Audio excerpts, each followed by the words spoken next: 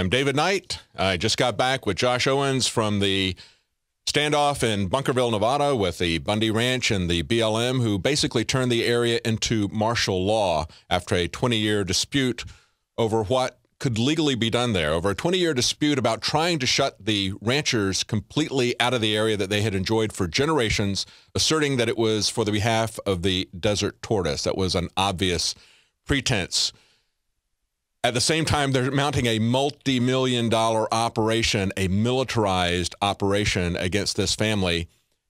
They're allowing turtles, they're actually not allowing, they they are euthanizing turtles under their care, more than 1,400 turtles under their care. And of course, they were able to drive out 52 of the 53 ranchers in that area with their regulations, coming in and saying, you are now only going to be allowed to have 10% of the stock that you used to have before, and you're not going to be able to put your stock on the land in the prime part of the season. That's the incrementalism. That's the way through regulation and these unelected bureaucracies, they can regulate any business out of business. That's what they're doing with Obamacare. It's essentially the same thing. Coming in and declaring that they have the right to to assume new powers that are not in the Constitution. The Ninth and Tenth Amendments say if it's not explicitly in there, you don't have that right. They don't have the right to force people to buy Obamacare, to buy insurance, to spend much more than they ever would to, on an insurance policy, forcing single men to buy maternity policies so that they can transfer excessive amounts of money to the insurance companies that gave them money to run for office. So what we're seeing here is crony capitalism. When we reported this, this was really the thing I believe that that drive this dramatic turnaround that we saw between Friday afternoon, late Friday afternoon, and early Friday morning. By Friday morning, the sheriff was there with a BLM press release in hand saying, We're going to allow you, we're going to open up the land again for your cattle. Of course, they had his cattle. A lot of his cattle they had already seized and they were subsequently taken back. But listen to this article that came out today from the Washington Times. They said it was likely that pressure from upstairs, that would be Harry Reid, rather than weapons from the field that changed his mind on the matter. Who is he that changed his mind? That would be the director of the BLM, the guy who used to be Harry Reid's senior policy advisor, Neil Kornze. He is now the head of the BLM. That's right. The guy who used to work for Harry Reid is head of the BLM, and they were specifically targeting the Bundy Ranch, and Kit Daniels found that documentation specifically targeting them as mitigation area, like a carbon tax credit, so that they could go ahead with their solar projects. And they are going ahead with First Solar. The Chinese project was presumably shelved back in June, but Harry Reid has resuscitated that project before in the past. It's not to say that it is completely dead. I've got on the phone right now Dr. Jerome Corsi. And at WND, he wrote an article about where the Chinese are going with this. They're not just in that one area with Harry Reid. This is massive. This is across the country. Dr. Corsi, thank you for joining us. A great pleasure. Thank you. Now, in April, in your article, you say that Bloomberg reported that a Chinese billionaire who was the founder of ENN, the uh, energy group that wanted to put this uh, solar project there, had teamed up with Harry Reid to get incentives, including land that was 113 miles south of Las Vegas, and they sought to buy $4.5 million, less than one eighth of the land's 38 million dollar assessed value. So they're getting it for one eighth of the price. These are sweetheart deals. These are being done all over the country. There is a plan to establish Chinese ownership and even Chinese factories and towns on the ground here in the U.S., isn't there? Well, yes. I mean, I've been writing about this now for uh, several years. I mean, the especially under the Obama administration, it's really picked up. The Chinese, uh, working largely with Harry Reid, have had these plans to uh, put massive solar facilities, actually to buy energy, period, in the United States. I mean, under the George W. Bush administration, you've got to remember that the Chinese were prohibited from buying interests in ports because it was viewed to be not in our national security interest to allow major energy or transportation facilities to be owned by the Chinese. Well, the Obama administration's reversed that. Of course, you know, we've continue to borrow a trillion dollars from the Chinese, and the interest on that alone is mounting daily. And the Obama administration shows no end of interest in running deficits and borrowing from the Chinese. So here runs Harry Reid in 2011 with a group of senators on a Senate funded trip to China. And Harry Reid comes back with this partnership with ENN Energy, ENN Group, which is one of the largest energy companies in China, 100% owned by the Chinese. Yeah, Chinese government, yeah. Chinese government, and uh, partnering with the ENN to bring EN to shut down coal plants in Nevada and to bring ENN into running eight or nine thousand acres of solar farms. Because you got to remember, one of the problems with solar energy is it takes huge amounts of land and having all this land used for um, solar power funded by the Chinese, you of course got to throw ranchers off their land, and you have to exclude any coal-powered plants, which are cheaper yeah. and more effective. Well, of course, they, they had rights just like property owners have rights, and they've got to somehow get them off of the land before they can turn an area over to a developer to build a skyscraper in a city. It was the same sort of thing that was happening here with these ranchers. And I think the, the showdown ended when it became clear that, I mean, you were reporting in at InfoWars, we're reporting it at WND.com.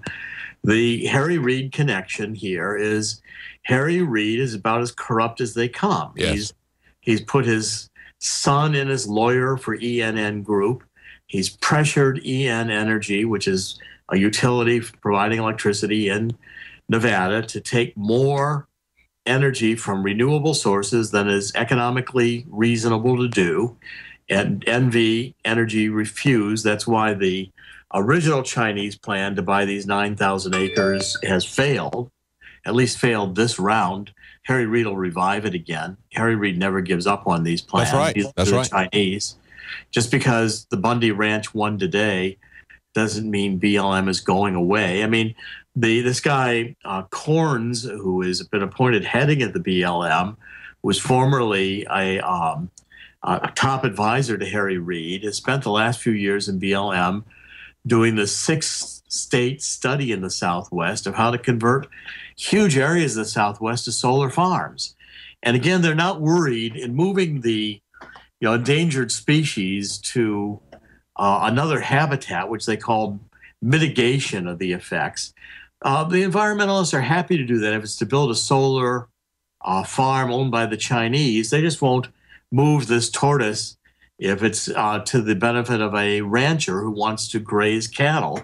That's right. Uh, They've done that over and over again all around the area of Las Vegas. They've moved tortoises out. They they got money from developers there and said, "That's fine. You pay us money. We don't really care about the tortoises." Yeah, the tortoises are just a chip in the game. That's right. Uh, the left and the environmentalists don't care about the tortoises. It's just a way of using the BLM and the EPA to impose this ideological agenda against carbon fuels, which is absolutely an irrational agenda. I mean, it's, you know, again, you see it in the hysteria over um, the UN's climate commission coming out again and saying all these disastrous consequences are going to happen because we burn carbon based fuels. Carbon based fuels are perfectly natural. They're a product of the earth. They can be burned in a clean fashion. They have nothing to do with dinosaurs, more lies. But the, the, the left, the Democratic Party, and the radical core of the Democratic Party, Al Gore through Harry Reid, have found a way to make billions of dollars personally, millions, by scamming the American people into this climate hysteria, thinking the carbon fuels are bad. In the meantime, inviting the Chinese to come in here and build billions of dollars, taking land away from ranchers in order to let the Chinese run solar energy farms, which are not productive, not economically competitive with hydro hydrocarbon based fuels. But yet, in the ideological agenda of the Democrats, they believe they can sell this lie to a dummy down American public that doesn't know the difference and will be scared by climate hysteria. You know, the world's going to end if we burn coal. Well, no, it's not. But yet, in Harry Reid's agenda, that narrative is important for Harry Reid and his Democratic crony, corrupted uh, buddies in Congress to become millionaires and billionaires, just like Al Gore did. Exactly. You know, it, it's not just about China. Now, as you pointed out, uh, WND has reliable information that the battle, uh, that the Bank of China has continued to advance plans to convert China's holdings of U.S. debt into equity. That's what we see happening with China. But of course, it's not just even with China. This is crony capitalism. This is where giant corporations come in, buy special favors, get the government to run out by regulation all of the small businesses. We've seen this pattern happen over and over again in many different industries. But what's happening here is that Harry Reid has put his minion, the guy who used to be a senior policy advisor to him, in as head of the Bureau of Land Management, which they now see, I guess, as the Bureau of Land Ownership. And they are now trading these mineral rights that they find throughout all this property, the water rights, the surface rights. They're trading those all off to their their giant corporations, and of course, then getting massive campaign contributions from those same corporations. That was what caused them to back down. Was shining the uh, light on these cockroaches, wasn't it? Yeah, and, and, look, I'm sure it was Harry Reid that caused the back down. Harry Reid doesn't yeah. want this That's right. being brought to light. I mean, but look, the Democrats, Obama, the corruption within the Obama administration is is enormous when it comes to energy. Again, remember it was the all these Solyndras, these, you know, right, half billion dollars that were funded by Obama in the stimulus bill all went to bundlers, you know, Obama supporters and funders. Money slipped under the table, campaign contributions to Democrats. And what happened is that all these solar panel Democrat funded firms went bankrupt because the Chinese undercut them in producing solar panels on the world market.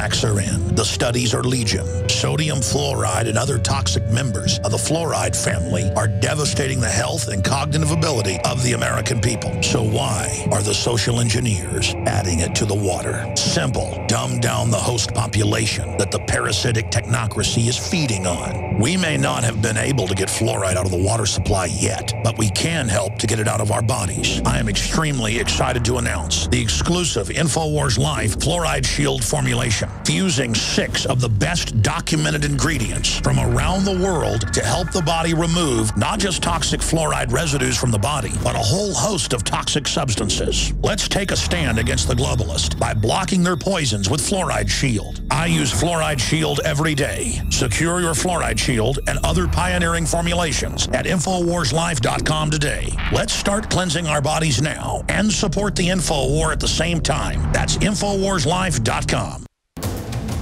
You are watching the InfoWars Nightly News, which airs 7 p.m. Central at InfoWarsNews.com. Members can share their passcode with up to 11 other people, and your support is helping us defend liberty worldwide.